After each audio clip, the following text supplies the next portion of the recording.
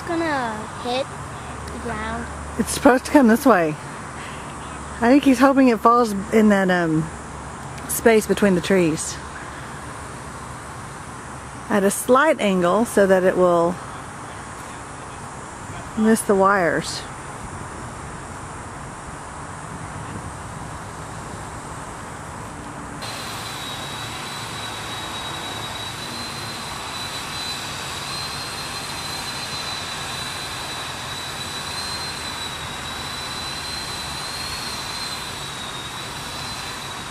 Mom's trying to go right. That tree must be rooted in the ground. Yes, most trees are rooted in the ground. Yeah.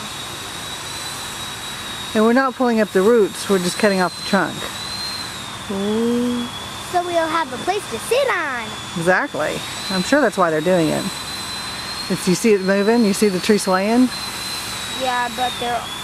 Oh yeah, you're on. it. Uh huh. Ha. Here it comes, here it comes. Whoa! Inside!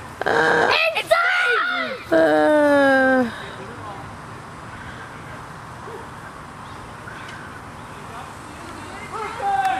I got it.